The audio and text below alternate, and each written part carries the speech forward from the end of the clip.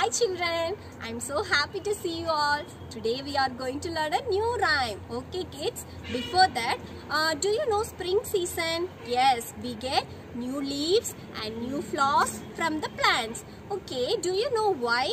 Because in spring season, the sun is shining bright and the rain also falls down.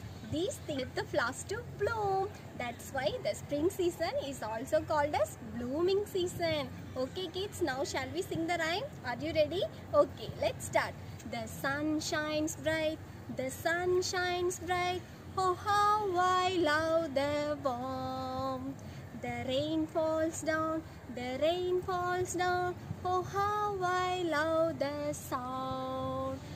Flowers start to bloom, the flowers start to bloom. Oh, how I love the sight. Shall we sing the song again? Okay, let's start. The sun shines bright, the sun shines bright. Oh, how I love the warmth. The rain falls down, the rain falls down. Oh, how I love the sound.